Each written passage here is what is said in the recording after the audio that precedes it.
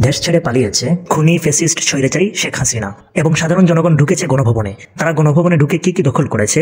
সেখান থেকে কি কইরা, এর বাড়ির প্রত্যেকটা ইট, পাথর চাইনা টাইস দেশি, বিদেশি পর্দা, কথা কর না কে?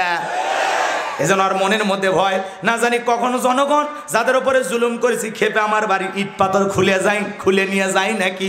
সেই ভয়েও ট্যাবলেট খায়াও চোখে ঘুম আসে না।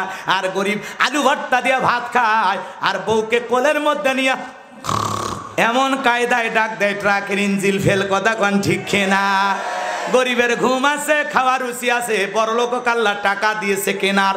অনেক খাবার কিনতে পারে, গরু গোস্ত না খাওয়া যাবে না। ডায়াবেটিস শরীর, খাসি কয় চর্বি বেশি।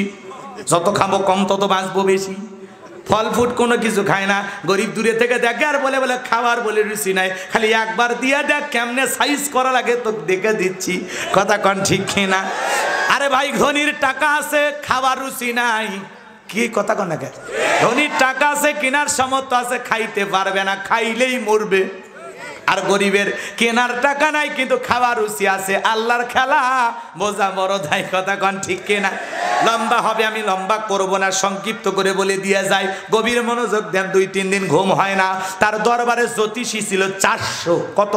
চারশো জন জ্যোতিষী। আর এই জ্যোতিষীর লিডারের নাম হলো দবিরা। বয়স হলো তিনশো বিশ বছর।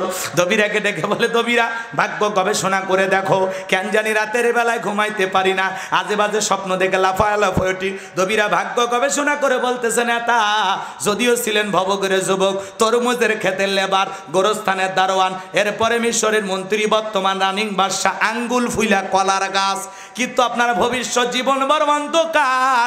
আগামী তিন মাসের ভিতরে বনি ইসরায়েল সম্প্রদায়ের মধ্যে মুসা নামের একটা ছেলে জন্মগ্রহণ করবে।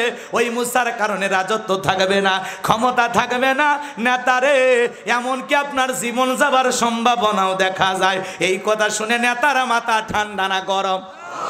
খালি গরম মানে? কঠিন গরম। কাঠকর ফুরাইয়া কত কষ্ট করে এই জায়গায় আসলাম, আর কোথা থেকে একটা পিচ্ছি পোলা জন্মগ্রহণ করবে? ওর কারণে রাজত্ব ক্ষমতা থাকবে না, এটা তো মেনে নেওয়া যায় না।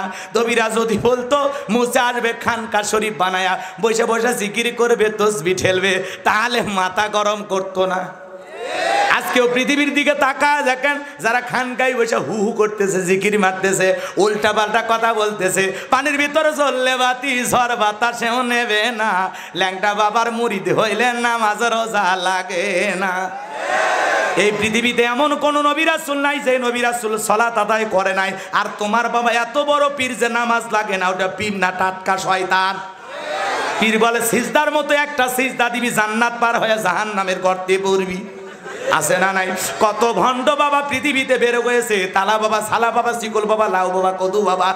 তিরিশ বছর পরে গোসল করে, ওর নাম দিয়েছে সাধু বাবা। জমিনে পানি পড়ার আগে মুড়িদেরা খায় সি সি সি সি। কত ময়লা জমে ছিল সেই পানি খাচ্ছে, বরকতের আশাই না উজবিল্লা কন। এ সমাজে আছে না নাই?